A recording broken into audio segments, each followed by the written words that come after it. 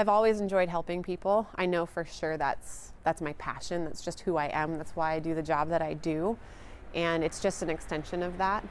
And my I think on a global scale, so sure my, my day job is to help the citizens of Bothell, but for me, it, it doesn't matter who's in trouble. If I have the skills to to help, I I'm gonna I'm gonna go and do what I can.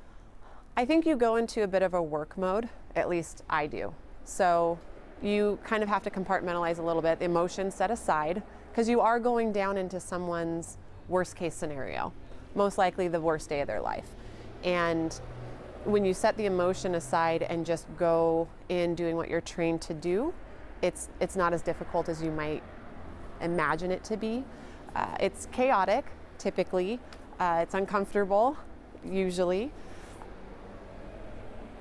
But you know you're providing benefit. I think that's the biggest thing is you know you're going down, you're providing benefit, and sometimes it's as much as just being there in solidarity with folks who have just lost everything in their home or lost pets, lost loved ones, and just having someone else there while they're going through that crisis makes all the difference in the world. Uh, floodwaters are horrible, incredibly hazardous. Uh, you want to avoid them at all costs. That's one of the biggest things I've learned being in hurricanes. Definitely avoid that. Um, it's hot, it's humid. Typically, the power is out, so you don't have those creature comforts like air conditioning working. Uh, you sweat a lot, you don't get a lot of sleep. it's it's anything but comfortable, but again, it's it's rewarding. Yeah.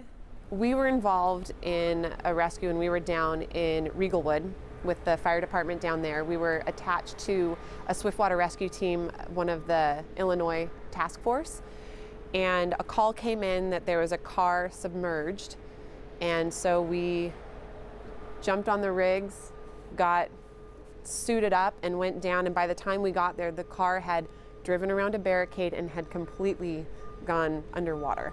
So, uh, being part of the medical team, I was not in the water myself. The water rescue team went in and were able to extricate both the elderly female passenger and the male. She had completely gone underwater, so she was considered a near drowning. Um, got her medically stable, transported to the hospital. The gentleman also was transported, but he was more just because of the exposure to the floodwaters and precautionary. Uh, but she was far more, far more critical.